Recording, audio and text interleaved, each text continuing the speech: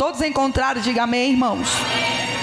Diz assim: E muito, muita gente dos judeus soube que ele estava ali e foram não só por causa de Jesus, mas também para ver a Lázaro, a quem ressuscitara dos mortos. E os principais do sacerdote tomaram deliberação para matar também a Lázaro, porque muito dos judeus, por causa dele, ia e cria em Jesus. A última palavra aí profética, antes da gente sentar, se você puder alcançar três pessoas no máximo e diga aquilo que Deus vai fazer na tua vida. Aquilo que Deus vai fazer na tua vida vai ser algo que para alguém vai ser ameaça. Mas não se preocupa. Diga para ele, não se preocupa. Vai ser um grande testemunho de vitória. Senta glorificando a Deus. Escuta. Olha, senta. Isso, é, tá lindo. Vamos lá, Wes. Isso aí. A Bíblia vai estar dizendo que Jesus agora está junto com a grande multidão. E no capítulo de João, versículo 11, vai estar dizendo que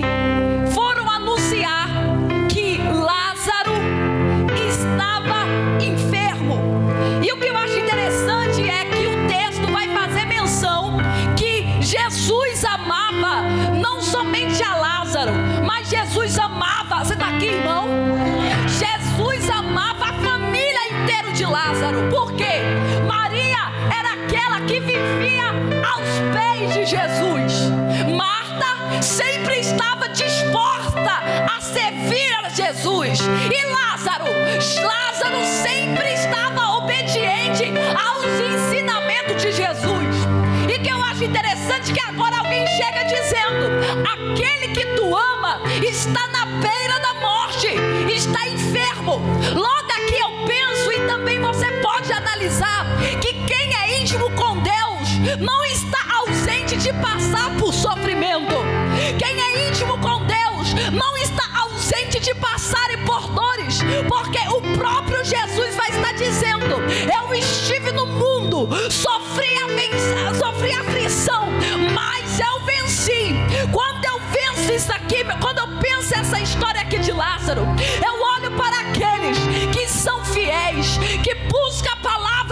Deus e fala: Porque eu sofro tanto, pastora, porque eu até mesmo eu sou fiel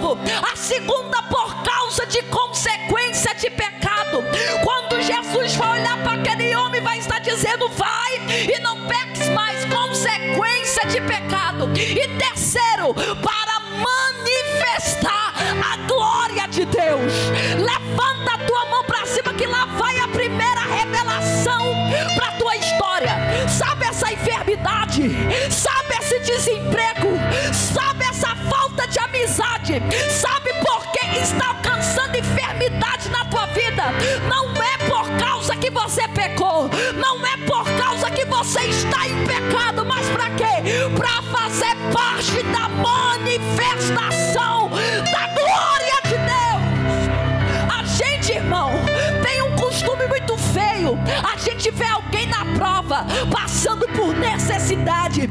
A gente vê alguém passando por uma grande enfermidade. Aí a gente diz: hum, será que pecou? Será que está com adultério? Será que está na fornicação? Será que pecado a pessoa cometeu? Quando eu vejo Jesus andando na multidão, os discípulos olham para o jovem e diz: Olha isso aí, Jesus. Por que, que esse jovem está desse jeito? Quem foi que pecou? Aí Jesus vai estar dizendo: Não foi o pai, não foi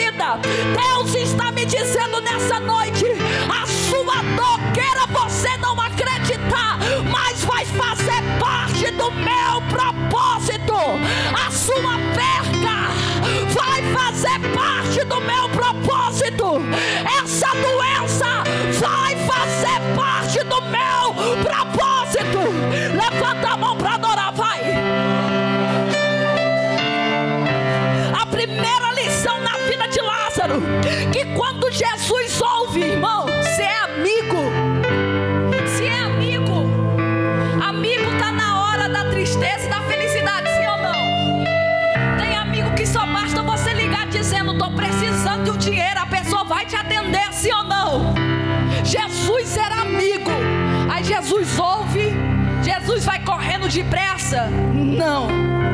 Jesus diz: tá bom, pode ir que eu vou. Esse eu vou quatro dias. Diga assim comigo: a minha promessa vai acontecer no tempo de Deus. Às vezes a gente ficamos preocupados dizendo: "Não, Senhor, tá demorando demais. Tá na hora de eu pregar. Tá na hora de eu pregar e falar no teu nome para uma grande multidão. Tá na hora de eu falar e paralítico andar. Tá na hora de eu servir.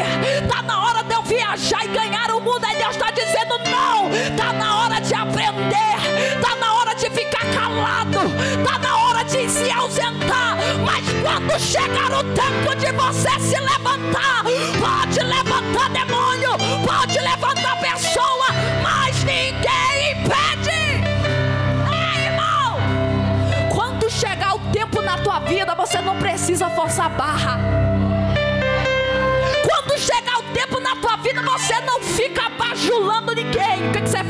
Eu só vou subir porque tem alguém que está me chamando.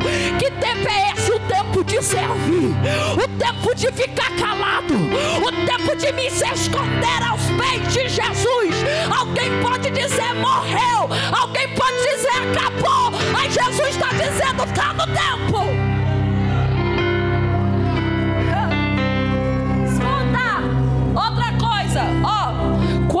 Maior for o seu problema, olha para mim, maior será o seu milagre. Jesus não vai na hora. Aí, no outro lado, o que está acontecendo, irmão? No outro lado, já está acontecendo o funeral de Lázaro. Alguém está dizendo: morreu, acabou, foi destruído, foi desiludido, prometeu tanto, prometeste tanto. Cadê esse Jesus que andava com ele? Não é assim na tua vida? Às vezes alguém diz: tu é crente,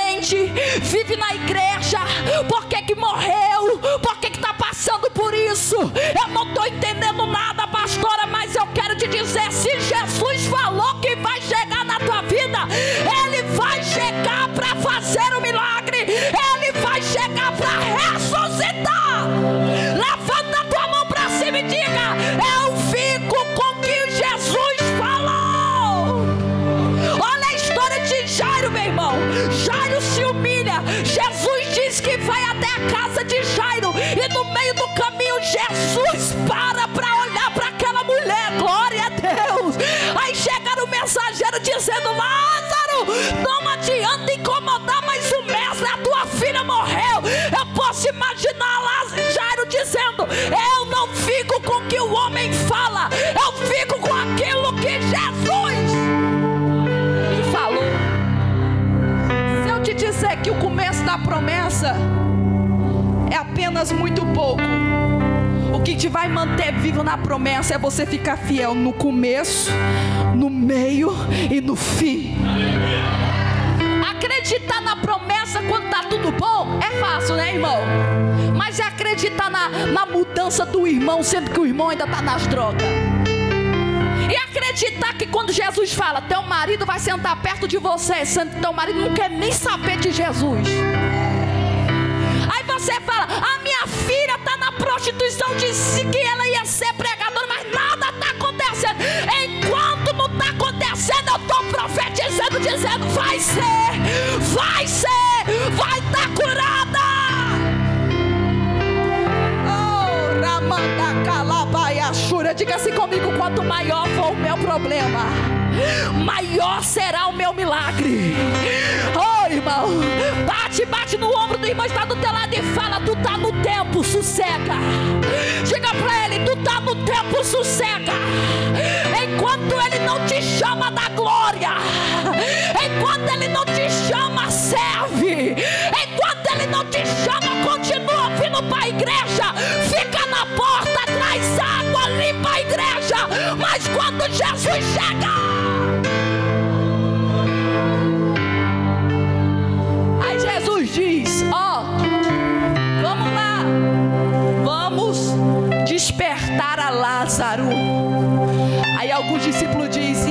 morreu mesmo. Aí Jesus, não, Lázaro está morto. Engraçado que Jesus, aqui ó, faz questão de dizer: Lázaro está morto. Diga assim comigo: alguém pensa que a minha história, a minha promessa morreu. Mais uma vez, diga: alguém pensa que a minha história está morta. Jesus vai estar dizendo assim: o nosso amigo dorme, mas vou despertar do sono. Aí Jesus fala assim: não, mas ele está morto. Aí Tomé diz: não, vamos lá para que nós possamos é, acompanhar esse funeral, para que nós possamos interceder por ele. Só que Jesus está comparando o que? A morte com o sono. O que é que Jesus está dizendo? Não tem morte que impeça de que eu possa fazer algo na tua vida sobrenatural. Alguém está lutando, dizendo vai morrer, vai ser destruída. Aí Jesus está dizendo: Eu já estou indo ao encontro. Eu já estou indo ao encontro. Aí quando Jesus chega lá, meu irmão, olha, olha que interessante. Tá todo mundo chorando, todo mundo clamando. Olha, Lázaro morreu, Lázaro morreu. Quatro dias, irmão, quatro dias. O corpo já está em toda decomposição. Os órgãos já está todo estourado. E Lázaro está onde? O corpo dele já está dentro de uma caverna, dentro do sepulcro. Aí quando Marta chega diz: Jesus, se tu tivesse aqui, o meu irmão não teria morrido. Aí Jesus diz: Marta, se creres, verás a minha glória. Jesus está dizendo, sabe o que para você? No meio dessa depressão, no meio dessa enfermidade, se creres, verá a minha glória. É o que é isso, pastora? O mundo passa por doença lá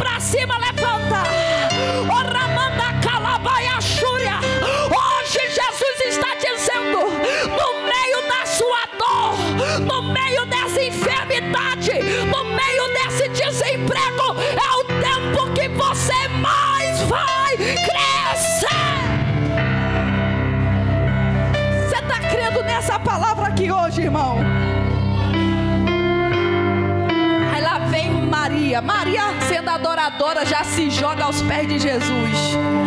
Jesus vê que está todo mundo chorando. Interessante que os fariseus estão alguns lá enfriltados, dizendo: Olha aí, ele não curou, não deu vista ao cego e não, agora não pode fazer nada pelo próprio amigo. O texto vai estar dizendo assim: Ó, então Jesus, então Jesus, então Jesus. Mas ah, velho, que é isso? Então Jesus. Então Jesus chorou. Isso aqui eu entendo que Jesus, ele vê, Jesus ele enxerga e Jesus se compadece. Eu vou dizer mais uma vez, você diz: "Ah, mas Jesus não está nem aí para minha dor". Aí Jesus está dizendo: "Eu estou vendo e eu choro junto com você". Mas não se preocupa. Tudo isso está fazendo parte para o nós só crescemos quando estamos sorrindo, né, irmão?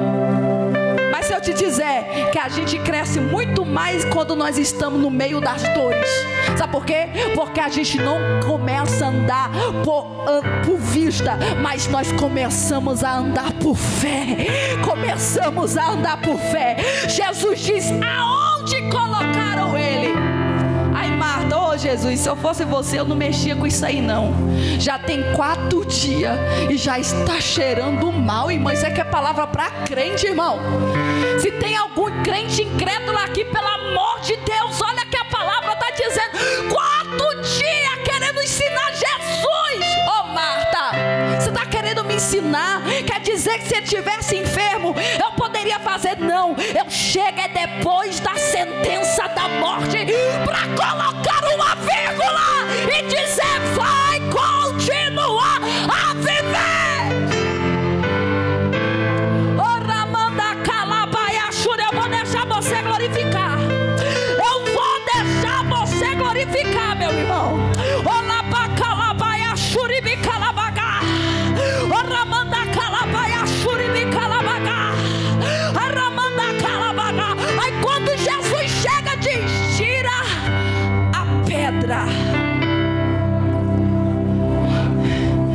está dizendo: você quer viver a promessa? Tira a pedra da fofoca. Tira a pedra da inveja. Sabe o que Deus está me dizendo? Tira a pedra da preguiça. Tem coisa, meu irmão, que não é o diabo, não. Às vezes a gente fala, é o diabo. Eu sei que tem vezes que a gente vai orar, que o peso espiritual é tão grande que você tem que vencer primeiro as nuvens de demônio. Mas existe muita situação que é preguiça. A gente acorda 5 horas, 6 horas para trabalhar, meu irmão a gente vai. Não é verdade? Aí quando é para buscar Deus, fala: Não, agora não, é preguiça. Deus está dizendo: Tira a pedra da preguiça. Porque enquanto você estiver tirando a pedra da preguiça, mesmo cansado eu vou buscar, mesmo cansado eu vou para o monte, mesmo cansado eu vou me abastecer. Aí quando tu está tirando a pedra, Deus está dizendo: para fora agora. Porque alguém está tirando a pedra. Só você que vai tirar essa pedra da glória. Escuta, tira a pedra do amuleto espiritual. Eu só cresço se alguém orar por mim. Eu só cresço se alguém for me visitar. Não, enquanto você estiver orando, Deus está dizendo, está tirando a pedra. Derramar uma nova unção na vida dele. É agora que eu vou fazer algo na vida dela. Tira a pedra. Diga assim comigo: tem coisas que somente eu. Bate no seu peito e diga: somente eu vou fazer é tirar a pedra. Às vezes está dizendo, estou esperando meu esposo mudar. E Deus está dizendo, primeiro tira a pedra na tua vida. Estou esperando minha esposa tomar uma posição na igreja. Aí Deus está dizendo, tira a pedra primeiro da tua vida. Estou esperando meu esposo ser cheio do Espírito Santo, pregar, me entender. Deus está dizendo, tira a primeira pedra da tua vida, que depois o milagre alcança você. De esperar a mudança do outro, né, irmão? Né, irmão? Sim ou não? Não, quando ele for, quando ele tomar posição, aí Deus está dizendo: o negócio é contigo, tira a pedra. Tira a pedra, faça aquilo que você nunca fez antes. O grito sou eu que dou, mas tirar a pedra é você. Que o alabacalabrachura, a unção é Deus que libera, mas fechar a porta do quarto para orar é você. A unção, a sabedoria é o Espírito Santo que dá, mas para se esconder em madrugada escudo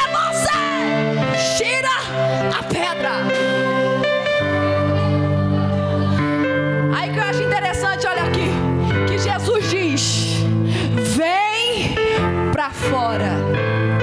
Outras versão, Lázaro, sai para fora. Naquele tempo, ele estava debaixo da terra, no seio de Abraão. Eu posso imaginar já quatro dias, a alma dele já está lá. Isso aqui é coisa da minha cabeça. Eu posso imaginar Lázaro já caminhando por lá, para lá e para cá. Aí só, ele só escuta uma voz dizendo: Lázaro, Lázaro, vem. Lázaro vem, Lázaro vem. Aí Lázaro está dizendo que voz é essa? Lázaro vem. Abraão já conhecendo, está dizendo: Eu conheço essa voz. A mesma voz que me prometeu, dizendo que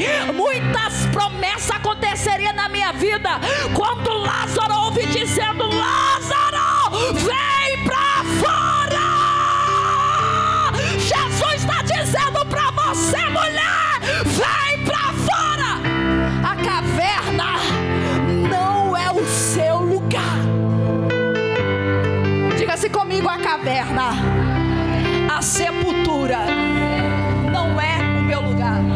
Você já viu, irmão, aqueles crentes que dizem: Eu já fiz isso, Senhor, eu não quero mais pregar, eu não quero mais cantar, não quero mais profetizar, não quero mais falar nada, eu só quero ficar no meu banquinho, sentadinha, escondido.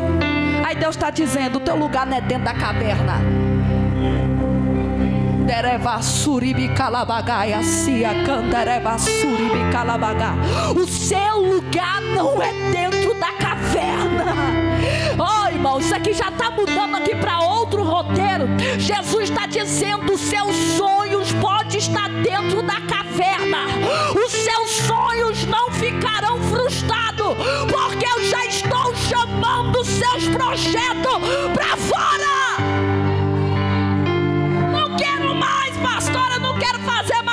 Jesus está dizendo: vem para fora, vem. Só vem para fora. Quando Lázaro se levanta, que eu acho interessante, que o texto vai estar dizendo: e o defunto veio para fora. Mas estava com os pés e as, as mãos atadas e todo enrolado. Aí Jesus está dizendo: desligai-vos, desligai-vos e deixai-vos ir. Jesus está dizendo: o grito eu já dei, mas quem vai discipular, quem vai ajudar a manter de pé, quem vai tirar essas amarras vai ser você. Jesus está dizendo para você: quando eu te chamar para fora, já tem pessoa te esperando, dizendo: Lázaro, tu estava morto, deixa eu ficar perto de você. Agora eu tenho que te ajudar a desenrolar o que estava preso, porque tu estava escondido, estava morto. Deixa eu andar com você. Deixai-vos, diga-se comigo, quem anda com Jesus está livre. Aí no texto aqui que a gente leu, que mais uma vez Jesus vai para onde? Para Betânia aonde Lázaro que faleceu tinha ressuscitado dentre os mortos você for ler o João capítulo 11, você vai ver que dá pena de gente que está dentro do funeral, apenas se lamentando pela morte de Lázaro mas de verdade não estava ali porque amava, estava ali porque observava. Diga assim comigo: nem todos que estão comigo está no mesmo propósito às vezes só está observando para ver se minha história vai acabar em morte. É, irmão, porque no capítulo 12 vai estar dizendo que agora eles foram não somente atrás de Jesus, mas por causa de Lázaro. Oh, aleluia! Muito dos judeus cria e ia até Jesus por causa de Lázaro. Do túmulo, Jesus está sentado juntamente com Lázaro na mesa. O que é isso, pastora? Aquilo que parecia ser morte na tua vida vai alcançar uma nação inteira por causa de você. Alguém vai dizer para você, mas o casamento não estava morto, a empresa não estava morto, os seus projetos não estavam mortos. O que que aconteceu? Estava tudo destruído. Aí Jesus está dizendo, agora vai ser por causa do teu testemunho. É por isso que você dá vontade de desistir, dá vontade de parar, porque você faz parte